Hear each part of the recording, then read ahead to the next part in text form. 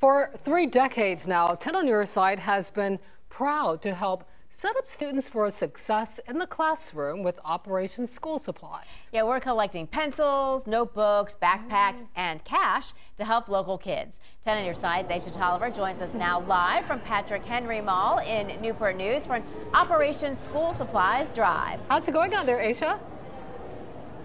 I mean, I found a really cute dog named Gigi, so I would say it's going really great over here. But I also ran into Nakia. She donated some supplies for us and just wanted to talk to her. She's a Virginia Beach middle school student, so this really hits close to home for her. Talk to me about why it was important for you to donate today. So the reason why I donated was because um, I feel like people, other kids that was homeless and stuff, they needed school supplies like others.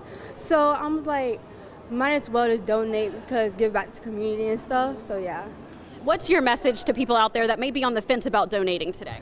Um, I would just say do it because if you don't do it, then you might not help yourself or your kids. If you're going through a hard time, then just come out here and help everybody.